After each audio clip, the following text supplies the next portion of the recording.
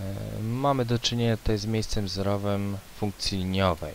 Tak, to z jakiej funkcji to jest, to nie ma znaczenia. Po prostu najważniejsze, co powinniśmy wiedzieć, to że dla jakiejkolwiek zresztą funkcji, jeżeli mówimy o miejscu zerowym, to y równa się 0. No to skoro y równa się 0, to spokojnie możemy tutaj podstawić do tej funkcji.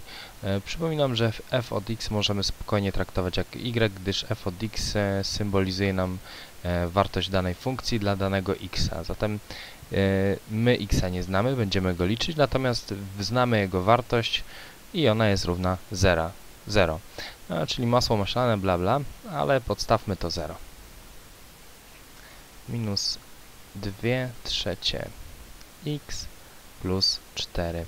Przekształt Przekształćmy teraz e, to równanie. Obustronnie dodamy 2 trzecie, dodamy 2 trzecie x. x e, staramy się zawsze pisać na równi kreski ułamkowej lub nawet e, w liczniku. W każdym razie będzie to wyglądało tak. 2 trzecie x równa się 4. Należy teraz pomnożyć e, to razy 3 drugie, czyli przez odwrotność tego, razy 3 drugie. E, zalecam zawsze mnożenie, e, gdyż dzielenie ciężej sobie wyobrazić. Czasami powstają nam ułamki piętrowe. Jeżeli natomiast będziemy mnożyć przez odwrotność, to tak jakbyśmy wykonywali dziel- dzielenie, tylko mnożenie oczywiście do mnożenia jesteśmy przyzwyczajeni, więc będzie nam łatwiej wychodzić.